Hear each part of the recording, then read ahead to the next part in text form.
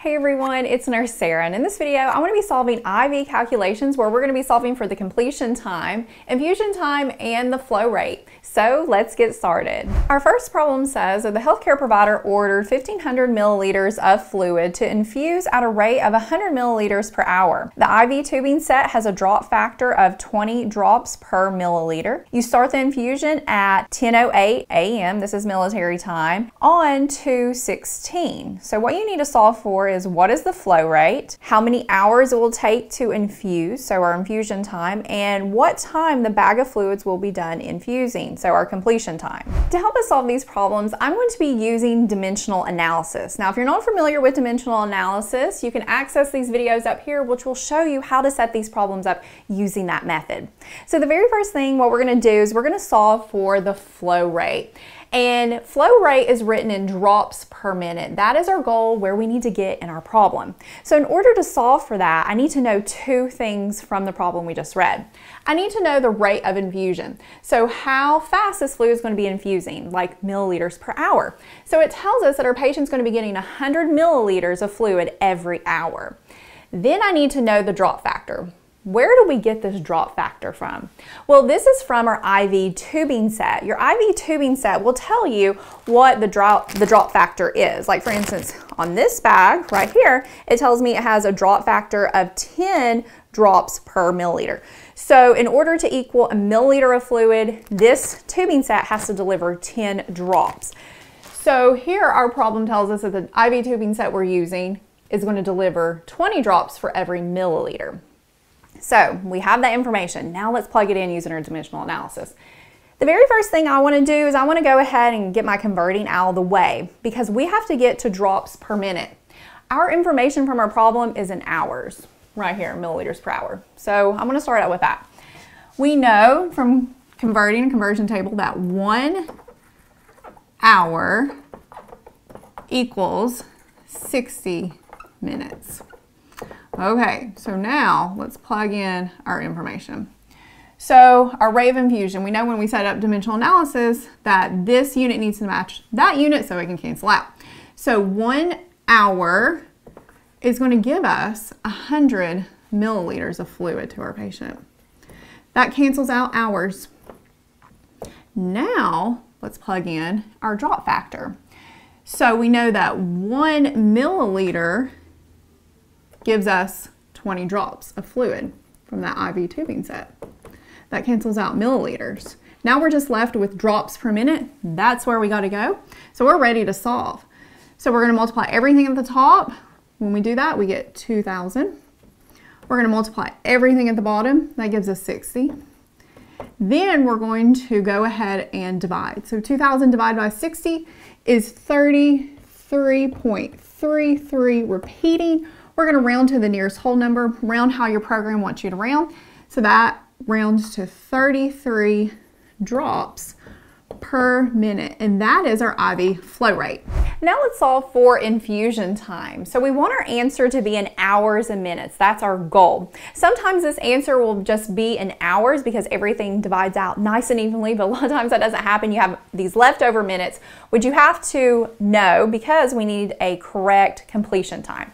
And in order to solve for this, we need to know three things. We need to know the total volume we're going to infuse, which from our problem it tells us we're going to give 1500 milliliters.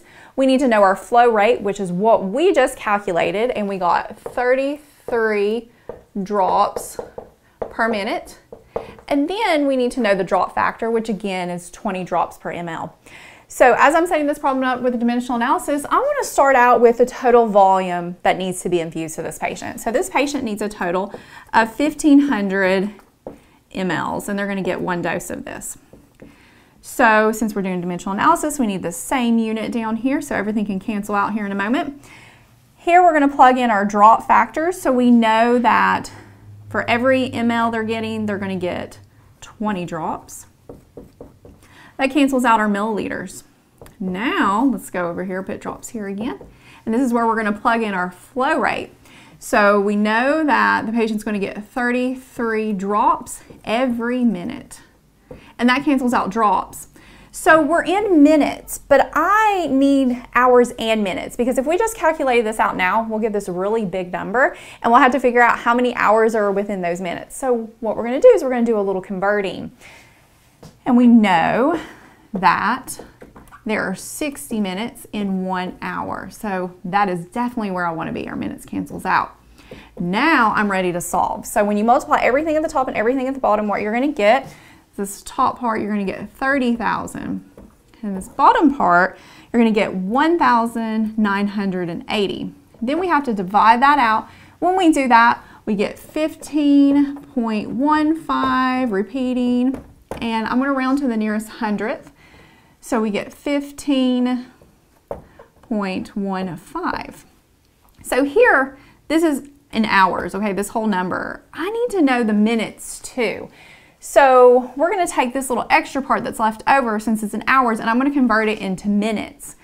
So we're gonna take 0.15, because that's our leftover amount, and that is in hours. And I'm using dimensional analysis again, so we're gonna put hours down here. And we know that one hour equals 60 minutes. And that's where I need to be, is in minutes, because I want that in minutes. So whenever I multiply everything at the top and everything at the bottom, what I'm going to get is 9 minutes. So our answer is 15 hours and 9 minutes. That is how long it's going to take for this to infuse. And then lastly, let's solve for a completion time. So this answer is going to be with the time in military time and the date. And to solve for this, we need to know the infusion time, which again, we just calculated it. It's what? 15 hours and nine minutes. And then we need to know the start time when we actually started this bag of fluids. And the problem told us was at 10.08 and in regular time, that's 10.08 in the morning. And we started this on February 16th. So to calculate this out, it's very easy. It's my favorite part of solving all these because it's very straightforward. We're just going to add and subtract. So our start time was this. So we're going to put this as our start time. We're going to add it to this because this is how we have to go forward. So 15 hours and 9 minutes. When we add that up, we get 2517. Well, that is not a time because we know there's only 24 hours in a day. So we're going to subtract that from 2400. And when we subtract that, we get 0, 1, 17 hours. And when we convert that, if you're going to do it not military time, just for your own benefit, you know that that's one 17 in the morning, but when you're answering these questions, you want to keep it in military time. And don't forget to change the date because we have now went over to the next day. So you're going to put 217 and be sure you always change that because you don't want to get a problem wrong with just putting the wrong date. The next problem says the healthcare provider ordered two and a half liters of fluid to infuse at a rate of 125 milliliters per hour. The IV tubing set has a drop factor of 15 drops per milliliter. You start the infusion at 2215 on 414. What is the flow rate? How long will it take for it to infuse, so our infusion time, and what time will the bag of fluids be done infusing, so our completion time. So first what we're gonna do is we're gonna solve for that IV flow rate. In order to solve for it, we need this information from our problem, and we gotta get to drops per minute. First thing what we're gonna do is we're gonna go ahead and knock out that converting. So we are going to say that one hour equals 60 minutes. And we know from our problem that for every hour, that patient's going to get 125 milliliters. It cancels out hours. Now, we're going to plug in our drop factor. So every milliliter that patient's receiving from the IV tubing set, they're getting 15 drops. And that causes our milliliters to cancel out. And we are in drops per minute. That's where we need to get. So we're going to go ahead and multiply everything at the top and bottom and divide. So when we multiply everything at the top, we get 1,875. Everything at the bottom, you get 60. And then when we divide that out, we're going to get 31.25. We're We're going to round to the nearest whole number, which gives us 31 drops per minute, and this is our flow rate. Now let's solve for our infusion time. So this is the information we need to solve for this, and we got to get to hours and minutes. Very first thing I want to do is I'm going to go ahead and put in the total volume to infuse. So we're going to give two and a half liters. Do one dose of that. Now, I'm in liters. I've got to get to milliliters because this is what my drop factor is in. So I'm gonna do a little converting. And we know from the metric table that one liter equals a thousand milliliters. So that is checked off, we're good. Now let's plug in the other stuff in our problem. So next we're gonna plug in this drop factor. So we know that one milliliter is equal to 15 drops with our tubing set. So that cancels out milliliters. Now we're going to put in our IV flow rate. So we just solve for that. So we know that the patient's going to get 31 drops every minute. That cancels out our drops. Now we need to get into hours because it's going to give us a big number of minutes. So I need some hours so I can then calculate our minutes. So we know that there are 60 minutes in one hour. That cancels out minutes. Now we're where I need to be. So we're going to multiply everything at the top and everything at the bottom and then divide. So when you multiply everything at the top, you are going to get 37,500 and then everything at the bottom, you're going to get 1,860. And when we divide that out, we're going to get 20 0.16129, so forth. We're going to round to the nearest hundredth.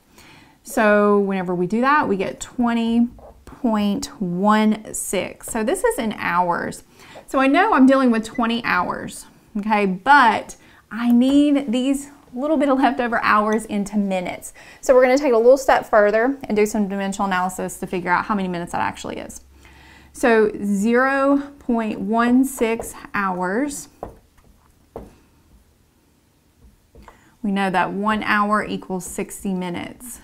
And when we multiply that out, both top and bottom, and divide, we are going to get, well, when we multiply everything out, we're going to get 9.6, and then you divide, that's what we get. And then we're going to round that to the nearest whole number, which is going to give us 10 minutes. So our answer is 20 hours and 10 minutes. That is our infusion time. Now let's solve for the completion time. So in order to solve for this, we needed our infusion time, which is what we just figured out. And we need the actual start time, which came from the problem. And it told us we started it at 22.15, which is 10.15 p.m. on 4.14. So again, we're just going to add and subtract, super easy.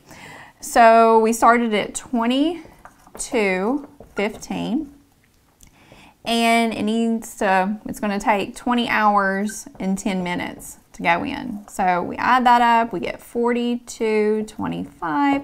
We know that's not a time, so we're going to subtract that from 2400. And when we do that, we get 1825 hours. So that is the time it's going to be completed. So just for your knowledge, you know that that's going to be 6.25 p.m. And we have went over into the next day. So it's going to be 1825 on 415. And that's our answer.